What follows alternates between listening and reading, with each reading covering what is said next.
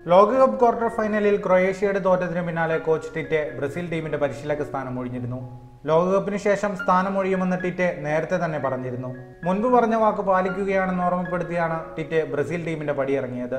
ഇതിനുശേഷം ടിറ്റയ്ക്ക് സാമൂഹിക മാധ്യമങ്ങളിലൂടെ തുറന്നു കത്തയച്ചിരിക്കുകയാണ് സൂപ്പർ താരം നെയ്മർ. പരിചയപ്പെടും മുൻപ് ടിറ്റെ ഒരു ബോറനാണെന്നാണ് കരുതിയിരുന്നതെന്നും ടിറ്റെ ലോകകപ്പ് വിജയം അറിയിച്ചിരുന്നുവെന്നും നെയ്മർ കത്തിൽ പറഞ്ഞു. നെയ്മറുടെ വാക്കുകൾ ഇങ്ങനെയാണ്. നേരിട്ട് പരിചയപ്പെടും മുൻപ് താങ്കൾ ഒരു ബോറനാണെന്നാണ് ഞാൻ കരുതിയത്. കാരണം പലപ്പോഴും നമ്മുടെ ടീമുകൾ നേർക്കുന്ന റേറ്റ് മുട്ടിയിട്ടുണ്ട്.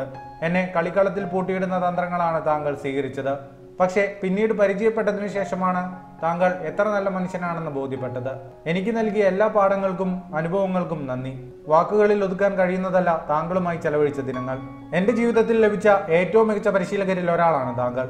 ഒരുമിച്ച് ചെലവഴിച്ച ഓരോ സുന്ദര നിമിഷവും എന്നെന്നും ഞാൻ ഓർക്കും. ഇങ്ങനെയായിരുന്നില്ല താങ്കൾ പടിയിറങ്ങേണ്ടിയിരുന്നത്. ലോകകപ്പ് വിജയം ടിറ്റെ അർഹിച്ചിരുന്നു. പക്ഷേ അതിനുള്ള ഭാഗ്യം നമുക്കുണ്ടായില്ല. നന്ദി പ്രൊഫസർ ടിറ്റെ നൽകിയ എല്ലാ അനുഭവങ്ങൾക്കും ഒരിക്കലും നിങ്ങളെ മറക്കില്ല. കൂടുതൽ ലോകകപ്പ് വാർത്തകൾക്കായി ഈ ചാനൽ ഇപ്പോൾ തന്നെ സബ്സ്ക്രൈബ് ചെയ്യുക.